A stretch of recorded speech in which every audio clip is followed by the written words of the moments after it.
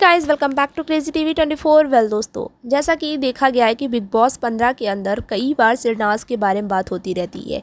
लेकिन, अब किसने शहनाज को लेकर ऐसी बात बोल दी जो किसी को भी पसंद नहीं आ रही है। क्या है बात? चलिए बताते हैं। लेकिन उससे पहले video like and channel subscribe ज़रूर करें ताकि आने वाली हर अपडेट आप तक पहुंचेगी जल्द से जल्द। जब शहनाज बिग बॉस के अंदर गई थी तो शहनाज जब बाहर जा रही थी तो किसी कंटेस्टेंट ने बोला था, शहनाज, मेरा जो है, बता देना बॉयफ्रेंड को, वरुण को, कि मैं पफ ठीक हूँ ओके हूँ।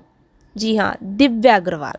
दिव्या अग्रवाल जो शनाज से ऐसा कुछ बोलती हुई नज़र आई थी, वही अब बोलती हुई नज़र आई हैं कि बिग बॉस तेरह के घर के अंदर सभी सदस्य जो थे वो फेक थे। एक रश्मि देसाई जो थी, वो रियल थी, उसी ने रियल होके खेला।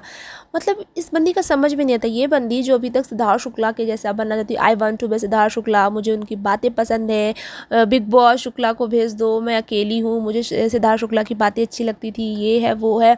और अब ये शहनाज को लेकर ऐसी बातें बोल रहे हैं तो भैया, ये वही है, घर का वेदी, लंका ढाए असली विभीषण। जी हाँ वही लग रही हैं।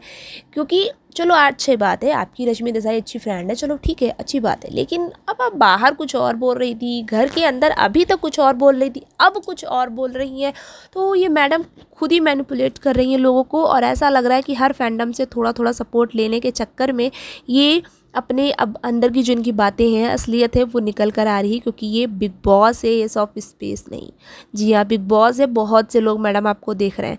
तो जो आप बोलेंगी ना वो हर किसी को पता चलता है, हर किसी को समझ में चल रहा है कि आपका गेम क्या है। अभी तक शुक्ला को लाओ, शुक्ला को लाओ। अब शहनाज के फैंस अभी थोड़े दिन तक पहले बहुत अच्छे थे, अब शहनाज फेक हो गई। अगर शहनाज फेक थी तो शहनाज के शायद इतने फैंस नहीं होते।